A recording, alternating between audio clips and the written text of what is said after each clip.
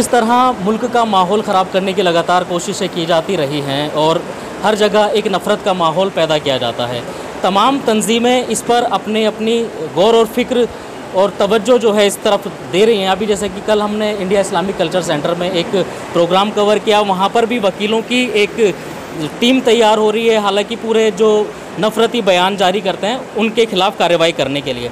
लेकिन मौजूदा वक्त में जो सबसे ज़्यादा ज़रूरत है अपने मुस्लिम माशरे के लिए या समाज के लिए, वो है इत्तेहाद कौम मिलत की, जिसमें आज अगर हम माइनॉरिटी की या मुसलमानों की बात करते हैं तो वो अलग अलग मसलकों में बटे हुए हैं।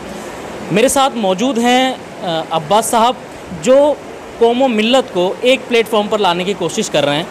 अब्बास साहब, सबसे पहले तो आपका इस्तकबाल करता हूँ मैं अपने यूट्यूब चैनल पे।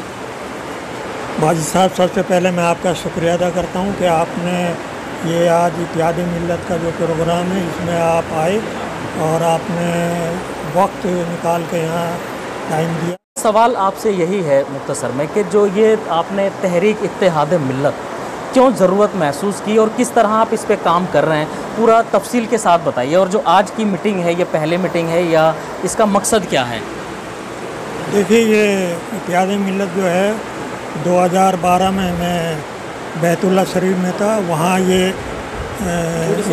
हाँ इतिहाद मिलत कायम हुई और फिर हिंदुस्तान में आने के बाद में और बैरूनी मुल्कों में जाके इतिहाद मिलत के सिलसिले में इकराम से दानश्वरान से उनके व्यूज़ लिए कि किस तरह से हमारे जितने भी मसलक हैं वो एक प्लेटफार्म पर आ जाएँ एक दूसरे की मस्जिदों में नमाज़ पढ़ें और जो भी हमारी कौम के साथ में मसाइल हैं उनके हाल के लिए हम काम करें।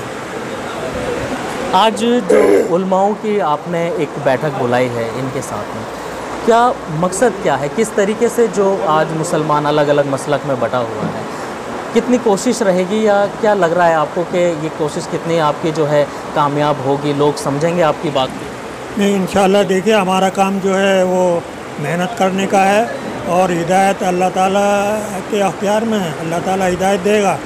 और जहाँ भी मैंने छोटे छोटे प्रोग्राम किए हैं तो उसका काफ़ी असर देखने को मिला है। क्योंकि इतिहाद के बारे में तो कोई भी ये नहीं कह सकता कि इतिहाद ना हो, या हम एक प्लेटफार्म पे ना आएँ, या एकजुटता ना करें। तो इसमें तो कोई मसला ही नहीं है। सब लोग चाहते हैं कि एक साथ आएँ और हमारे मसाइल हल हों।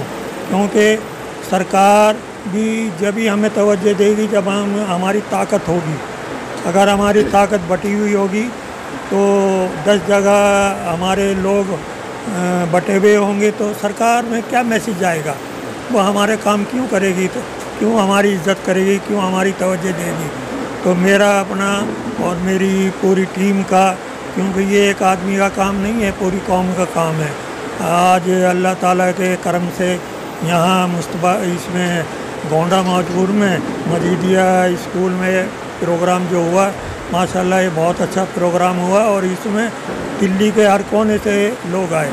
चाहे इसमें ये पचास, सौ, साठ, सत्तर आदमी थे, लेकिन ये प्रोग्राम बहुत अच्छा रहा। इसका मैसेज पूरे हिंदुस्तान में जाएगा और इसके बाद में हम जो है जगह जगह और प्रोग्राम करेंगे।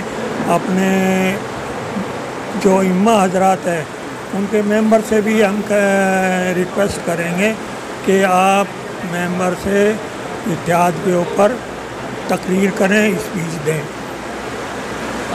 अभी जैसे यहाँ मस्जिदों के उल्मा हजरात मौजूद थे आपने जो एक प्रोग्राम अपना बनाया है किस तरीके से आप इसको लोगों के बीच में लेकर जाएँगे? क्या एक रूट में तैयार क्या किया है नहीं इसमें हमारा प्रोग्राम ये है कि हम महीने में एक मीटिंग करेंगे। पहले हम जो है हर जगह अपनी पैदल यात्रा या एक एक दो आदमी जाके लोगों से मिलेंगे, उनसे उनके ख्यालात लेंगे और फिर एक, कहीं प्रोग्राम करेंगे, जैसा आज किया है। तो इन कुछ ना कुछ इसके असरा तो ज़मीन पर आएँगे ही। कोई और ख़ास पैगाम जो लोग आपको देख रहे हैं, आपको सुन रहे हैं, कौमो मिलत के हों, समाज के हों, किसी भी मज़हब के मानने वाले हों? क्या आप उनको पैगाम देना चाहेंगे? नहीं, मेरा ताल्लुक़ तो जो है, हर मज़हब से है।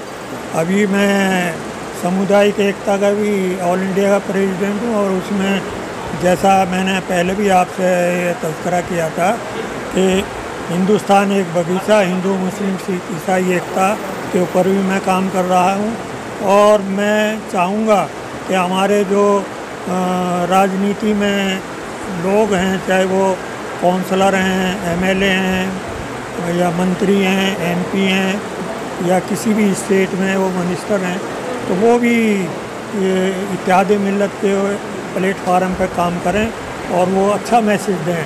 अपने हमसाया, वो चाहे कोई भी है, क्योंकि हजूर वसल्लम तो पूरे आलम के नबी थे, उन्होंने तो किसी से कोई ऐसा नहीं किया कि एक किसी मज़हब के लिए उन्होंने तो पैगाम सभी को दिया।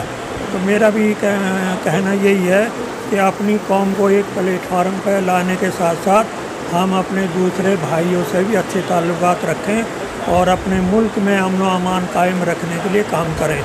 जिस तरीके से ये एक मुहिम अब्बास साहब के ज़रिए एक छेड़ी गई है, हम लगातार इस मुहिम के साथ जुड़े हुए हैं और लगातार हम आपको क्या मीटिंग चल रही है और कितना ये जो इनका प्रोग्राम है कामयाब हो रहा है? क्योंकि एक शाम टीवी हमेशा समाज के जो बेहतरी के लिए काम किए जाते हैं, बढ़ चढ़कर उसमें हिस्सा लेता है। आप, हमारी इस खबर पर अपनी क्या राय रखते हैं? हमें कमेंट के ज़रिए ज़रूर बताइए।